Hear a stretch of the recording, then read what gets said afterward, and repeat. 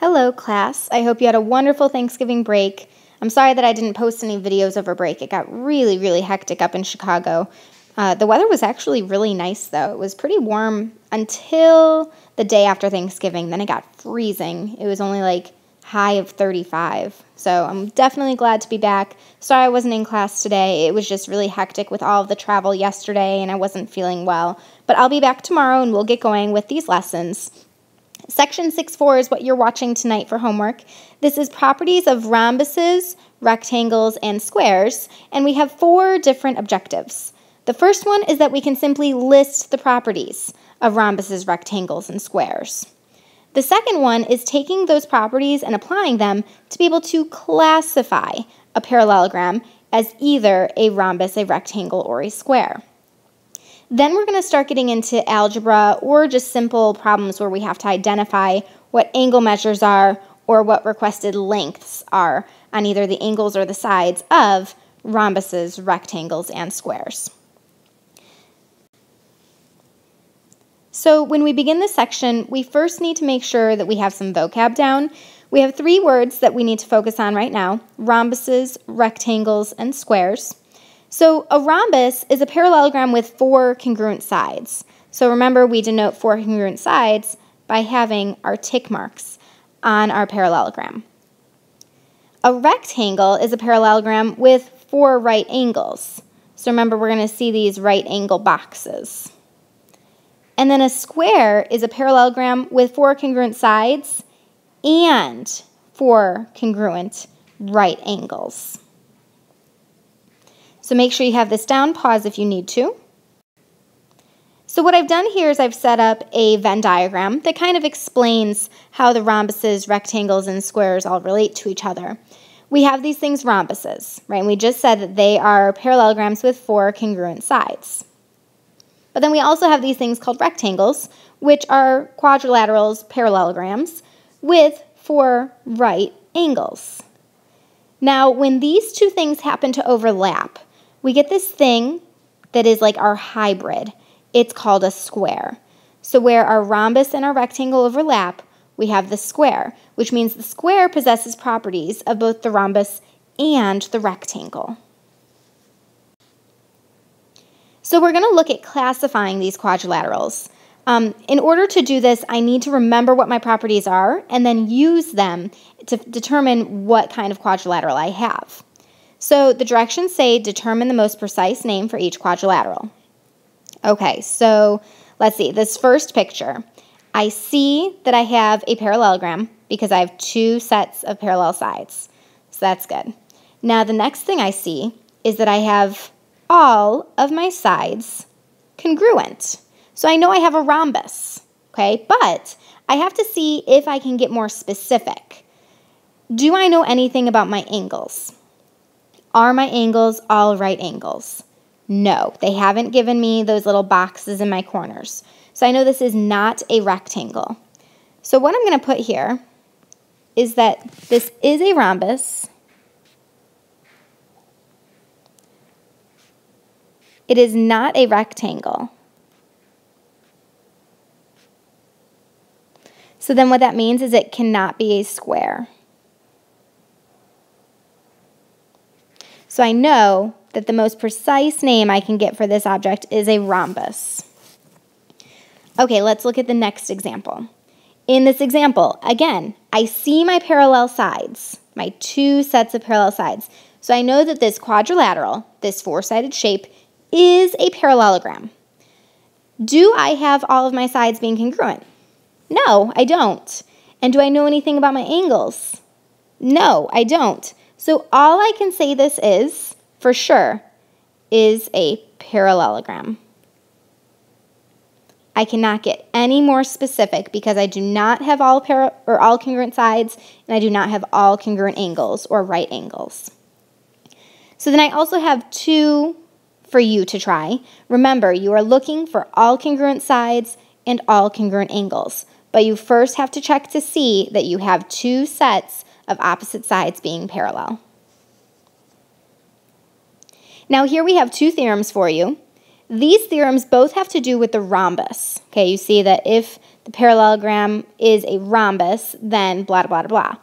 So in our first theorem, theorem 613, it says if a parallelogram is a rhombus, then its diagonals are perpendicular.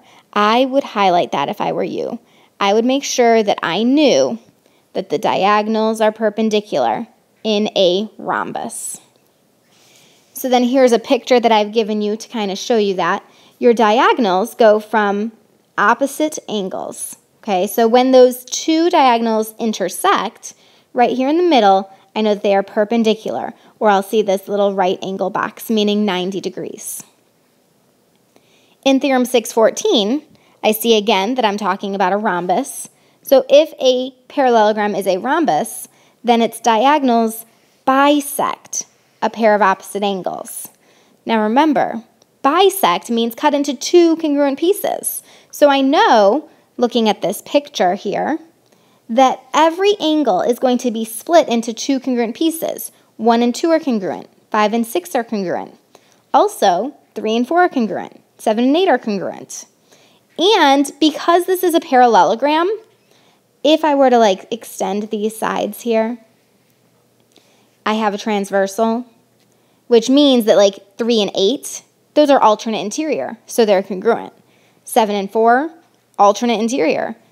Um, actually, those ones aren't. I take that back. 3 and 8 are alternate interior, so they're congruent, okay? So I have 3, 8 congruent, but 7 and 8 are congruent. So 3, 4, 7, and 8 are all congruent. 1, 2, 5, and 6 are all congruent. So here we're looking at a couple of problems. Um, the first one here says, what are the measures of the number angles in rhombus ABCD? So these angles, 1, 2, 3, and 4, they want you to find what the actual measures are in degrees. Okay, so I'm thinking about those two theorems that we just learned, and I recognize right away that I have a rhombus, which means that my diagonals intersect perpendicularly, which means angle 1 must equal 90 degrees because that is where my two diagonals intersect. The other thing I recognize was this whole opposite angles bisected thing. So I see a 58 here, which means that 2 is 58 and so is 3.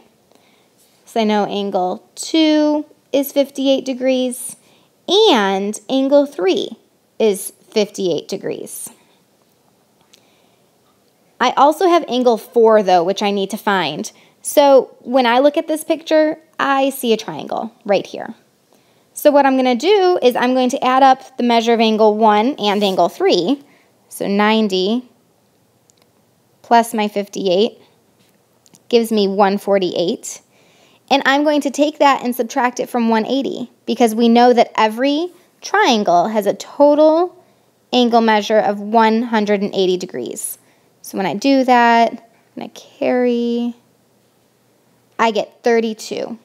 So I know that the measure of angle 4 is equal to 32 degrees.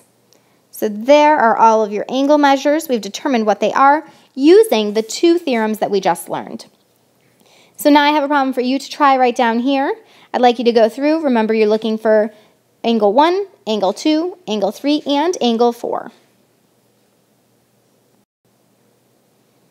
We have one more theorem we have to talk about for this lesson, and that's Theorem 615. Now, this theorem has to do with rectangles. Okay, so before we learned about rhombuses, now this is a theorem about a rectangle. So if a parallelogram is a rectangle, then its diagonals are congruent. The diagonals are congruent within any rectangle. So if you look at this picture here, the diagonals, remember those go from opposite angles. My diagonals are going to have an equal length. They are going to be congruent. So now we're going to use what we just learned about diagonals being congruent in order to determine the length of the diagonals. Sometimes you'll be asked for the value of x, sometimes you'll be asked for the length of the diagonal, sometimes you'll be asked for each of those. So please be careful and make sure you know what you are being asked for. So if I look at my first example here, SF is 2x plus 15, RB is 5x minus 12. So what I'm going to do is I'm going to take those two expressions and I'm going to set them equal to each other because I know that my diagonals are congruent or that they have equal length. So then I'm just going to go ahead through and I'm going to solve.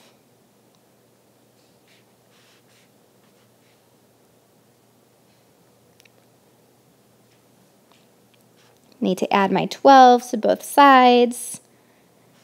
And this gets me 3x equals 27. And when I divide that 3 out, I end up with x equals 9. Okay, but my original question said, what is the length of a diagonal? It doesn't matter which one because they're the same length. So all I have to do now is take this 9 and I need to plug it back in. So I'm going to plug in to this expression right here. I have 2 times 9 plus 15. That's, oops, that's 18 plus 15, which equals 33. So I know that 33 is the length of a diagonal. Okay, so then you have a U try. They haven't drawn a picture for you. However, if you just sketch out a picture for yourself, you'll be fine doing that.